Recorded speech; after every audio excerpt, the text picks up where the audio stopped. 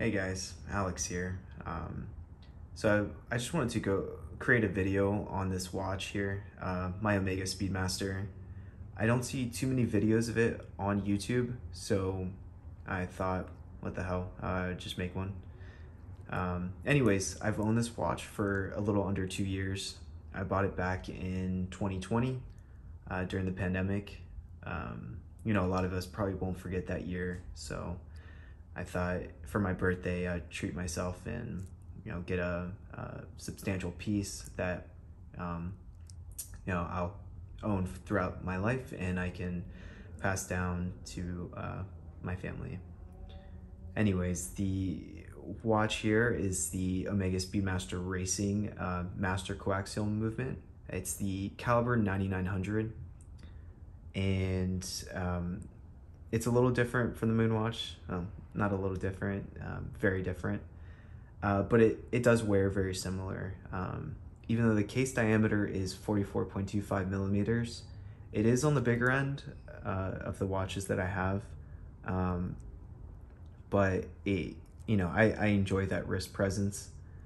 And um, I guess the reason I got it, you know, I'm, I'm not much of a Rolex guy. So you know, I definitely wanted a Speedmaster. I thought that'd be my first luxury piece. And I'm overall incredibly happy with this watch. Um, I originally bought it on the black uh, perforated leather strap with the orange accents on it. And after a few months, I decided I just wanted to get the um, bracelet as well. Uh, so I switch it out occasionally, depending on how I'm feeling or um, just to switch things up, the black leather strap is, you know, infinitely more comfortable to wear on. Um, but with the bracelets, uh, definitely a bit more flashy, um, you know, a bit more in the flashy end.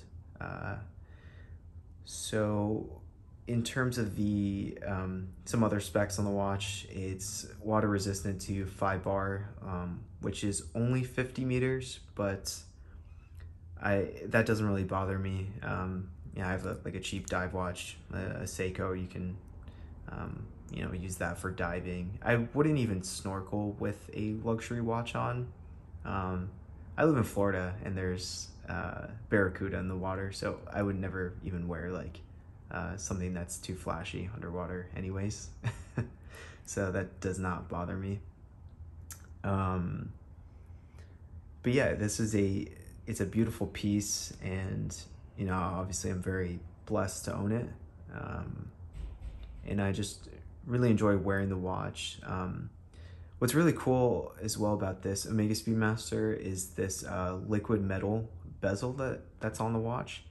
And um, just like the when the light hits at certain points it it just looks really cool. And I don't think you get that on the aluminum um, bezel with the regular moon watch.